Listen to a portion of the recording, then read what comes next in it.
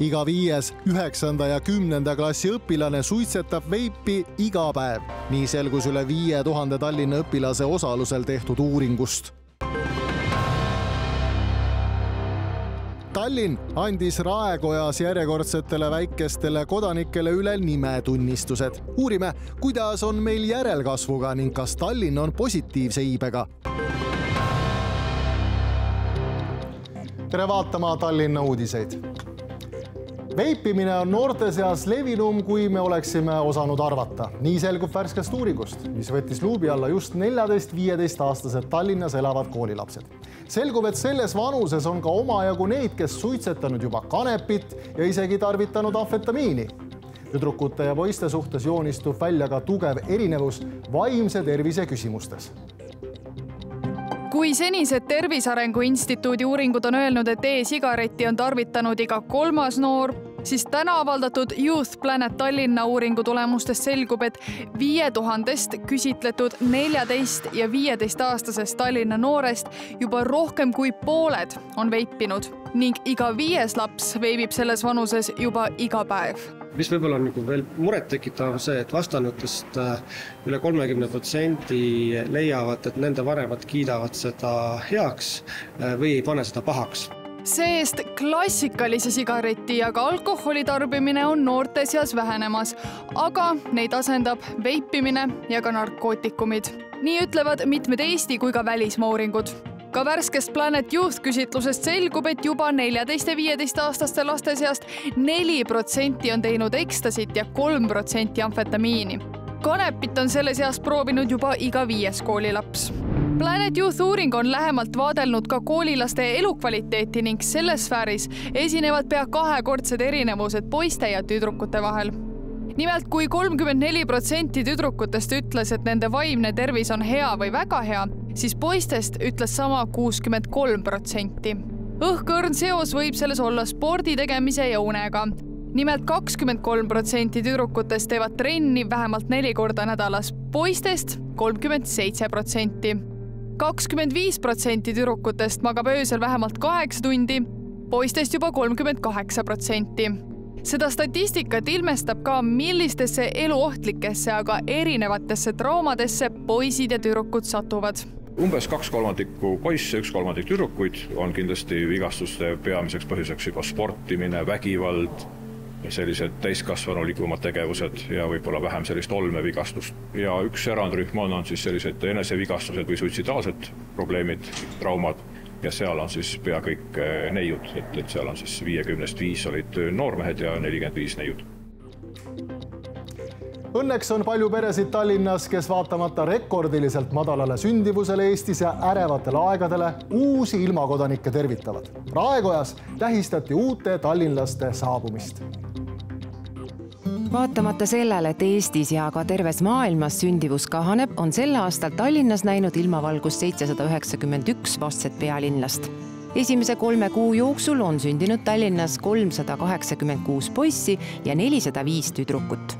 Täna tähistati nende armsate saabumist pealinlaste sekka sündivus on alla läinud, sellest on väga kahju.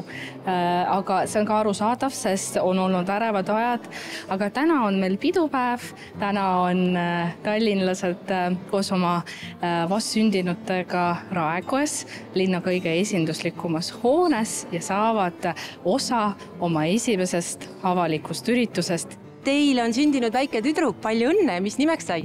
Olivia mis tunded siis valdasid, kui see esimene kohtumine oli? ikka emotsionaalsed aga isal? eks jah, elu ikka muutus äh, hetkega, aga väga-väga tore igal juhul. sihuke huvitav ikka, kahe lapsega elu on ikka kahe lapsega elu, et ei ole sama, mis ühe lapsega enam, aga. et toast välja tulek ei lähe kiiresti? ei juba siia sättimine võttis terve hommiku aega. see tähendab, kui saate siin Raekojas niimoodi nimetunnistused, mis tundeid see tekitab? No ikka uhke tunne on. uhke tunne on, sest esimese lapse sünniga kahjuks ei saanud, siis oli koroonaaeg. koroonaaeg on ka sündide arvu oluliselt mõjutanud. ebakindlatel aegadel sündide arv langeb, et lapse saamine lükatakse pigem edasi. noh, kolm niisugust äh, aspekti on, üks on see koroonaaegsed piirangud, teine on äh, inflatsioon ja siis edasi tuli sõda ja see võimendas veelgi inflatsiooni Eestis. aga aga kuna sündide arv langeb ka teistes nii Euroopa riikides kui ka üle maailma, näitab, et, et seda mõjutab midagi, mis on ilmselt kõigil riikidel ühine ja see ühine on pigem siis selle koroonaaeg. lapsed sünnivad ikka armastusest ja sinna, kuhu neid oodatakse, kinnitasid Raekotta kogunenud pered. majanduslangusega ärevad ajad vanemaid ei heiduta. kindlasti mitte et meil oli väga planeeritud see igatepidi. et elus õige hetk ja, ja kõik läks väga ilusti. lapsed lapsed on ikka midagi rohkemat, et äh, lapse saamist ei saa nagu päevapoliitika järgi seada.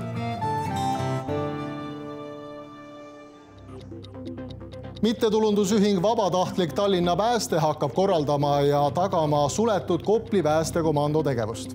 esialgu plaanitakse meeskond kokku saada endistest päästjatest kõigepealt soovitakse MTÜ Vabatahtlik Tallinna Pääste töösse kaasata kõik endised professionaalsed Kopli päästekomando töötajad, keda kokku tuleks umbes kakskümmend.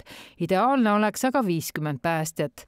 MTÜ vastne juht Raul Raidma ütleb, et mida rohkem on vabatahtlikke päästjaid, seda tugevam on ühiskond me püüame kaasata esimeses etapis kõik nii-öelda siis Kopli endised päästjad, kes siis ongi ette valmistatud selleks, et Äh, ja omavad kompetentse, et siis teha ka suitsusukeldumist, teha erinevaid töid.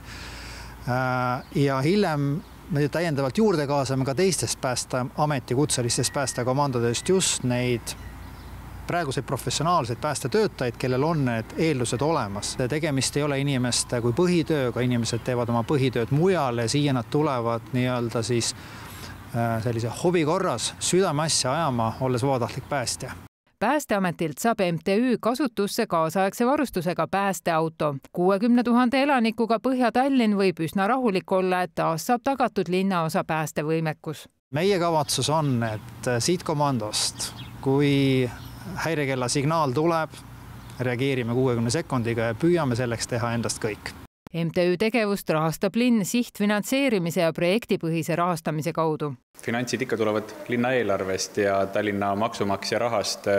meil käesoleva aasta eelarves on äh, veerand miljonit äh, eurot, see puudutab äh, nii sisutegevusi kui varustuse hankimist ja kinnisvara rentimist. Ankru tänava komandohoone on riigi kinnisvarale kuuluv, Tallinna linn on selle rendile võtnud, et seal saaks siis Kopli komando oma tegevust jätkata Kopli päästekomando suleti selle aasta jaanuari lõpus siseministeeriumi otsusega. MTÜ Vabatahtlik Tallinna Pääste plaanib Kopli päästekomando päriselt käima saada juba mai alguses. rottidega võitlus on linnaositi erinev, kuid probleemid on üle linna ikka samad. elanikud kipuvad oma toidujäätmetega hooletult ringi käima. lisaks sellele on ikka veel neid inimesi, kes tänaval linde toidavad ja sellega ka rottidele suupoolist pakuvad rotid hoiavad üldjuhul varju ja käivad väljas vaid toidujahil, aga nad on meie ümber alati olemas, kas rohkem või vähem. näiteks Musumägi on üks koht, kus aeg-ajalt võib rotte kohata ka päevasel ajal. Mustamäel nad nii avalikult ei liigu, ent inimeste hooletus annab siingi põhjust muretsemiseks ja sealt mööda tulles me nägime, et isegi biojäätmete konteinerid olid sõna otseses mõttes pealt avatud. siin on kõik olemas, siin on olemas äh, vesi ojas selline kena loodus, toit ja, ja ütleme niimoodi, et rottide vohamises või, või rottide linnas olemises on päris palju inimesed ise süüdi. enam-vähem ainus, mida linnaosa saab teha rottide tõrjumiseks, on nende mürgitamine Lasnamäe kasutab näiteks spetsiaalseid mürgikaste, mis on ohutud lemmikloomadele ja teistele väikeimetajatele, nagu näiteks siilid. kõige rohkem rotte on ikkagi kortermajade ümbruses, kuskil seal, kus on hea soe, soojustrasside ümber. samuti on neid päris palju prügimajade ümber, eriti nende prügimajade ümber, kus alt on olemas sellised ilusad avad mille kaudu nad pääsevad siis äh, prügimäe sisse. meie oleme kasutanud rotimürki. Äh, kui tegu on avaliku kohaga, siis me ei tohiks niisama rotimürki visata kuskil äh, par pargi pindalal. selleks me kasutame siis rotimürgi jaoks spetsiaalseid kastikesi. samas saab igaüks meist midagi ette võtta esmalt prügi sorteerimine ja prügikastide kinnisena hoidmine lisaks tuleb lõpetada lindude toitmine tänavatel ja väljakutel. lõpuks langeb toit ikka maha, kust rottidel seda kerge võtta on naastrehvide kasutamise lõpetamine on oluline nii asfaldi kui õhukvaliteedi pärast. Tänavatolm on seotud mitmete tervisemurede tekkimisega ja paraku ka oodatava eluea lühenemisega.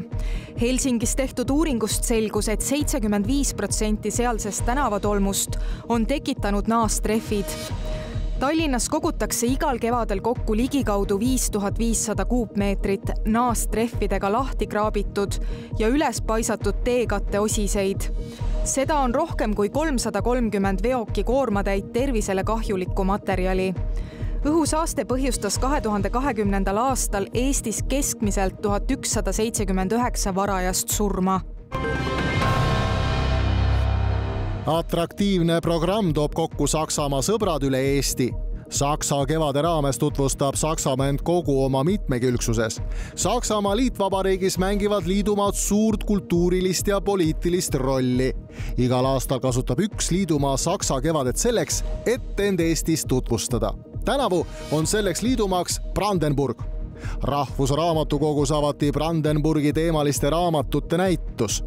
kuu aja jooksul korraldatakse ka selle liidumaa teemaline viktoriin õpilastele üheksandal aprillil avati Maarjamäe lossis kultuuriautonoomiale ja mitmerahvuselisele Eestile pühendatud näitus Oma või võõras. kahe tuhande kahekümne neljas aasta on ka kultuurilise mitmekesisuse aasta, seetõttu on nii näitus ise kui temaatika olulisel kohal napilt sada aastat tagasi, tuhande üheksasaja kahekümne viiendal aastal võttis Riigikogu vastu Eesti kultuuriomavalitsuse seaduse, mille järgi oli vähemusrahvustel õigus oma kultuurielu ise korraldada kuni tuhande üheksasaja neljakümnenda aasta suvel alanud Nõukogude okupatsioonini. me kuraatoritena eh, selles näituses ei võta sellist positsiooni, et me otseselt kas eh, oleks selle seaduse vastu või selle lahenduse vastu või et eh, propageeriks seda, et me laseme sellel nagu seisukoha külastajal endal äh, kujundada, aga me just nagu rõhutame erinevaid aspekte, mida siis selline omavalitsuse mudel ühiskonnas ja näiteks haridussüsteemis tähendas seetõttu sada aastat pärast seaduse vastuvõtmist kutsub Eesti Ajaloomuuseum Maarjamäe lossi näitusel oma või võõras kaasa mõtlema Eesti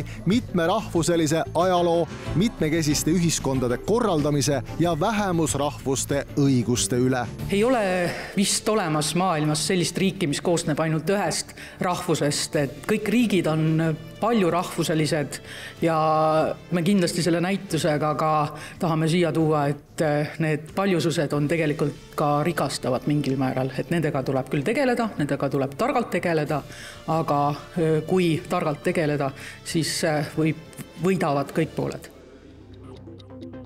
keskkonnaagentuuri ilmaprognoosi järgi on vähemalt kolmapäevani väga soe kevadilm, kuni kakskümmend neli kraadi lubatakse kolmapäeval, aga siis läheb taas jahedamaks. aeg ilmateateks.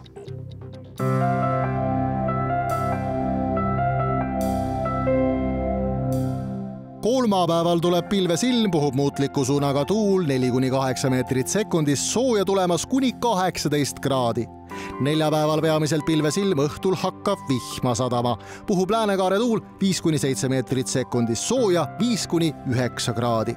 reedel peamiselt pilves ilm, puhub lääne ja edelatuul viis kuni kaheksa meetrit sekundis, soojakraade viis kuni üheksa head sõbrad, aitäh, et vaatasite Tallinna uudiseid. meie lugusid saate järele vaadata ka Youtube'i Linnameedia kanalis. kohtumiseni. thank you